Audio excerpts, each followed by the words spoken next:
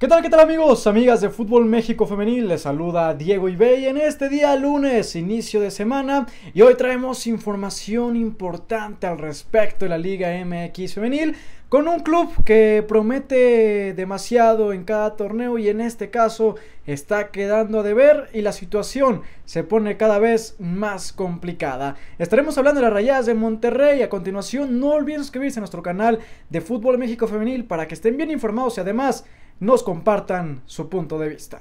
Y bien amigos, amigas de Fútbol México Femenil, ya lo comentamos, el caso de las Rayadas de Monterrey, quienes no han podido ganar últimamente en la Liga MX Femenil, uno de los equipos más importantes de esta rama, que al momento suman cuatro, cuatro partidos sin poder ganar, de los cuales tres han sido empates y uno derrota, el caso de Chivas Femenil, que lo consiguió por la mínima diferencia. De ahí, las rayadas de Monterrey se colocan en el quinto peldaño. Ustedes podrán decir, bueno, pues no está tan mal, está entre los primeros cinco. Sin embargo, hay algo que se le está escapando.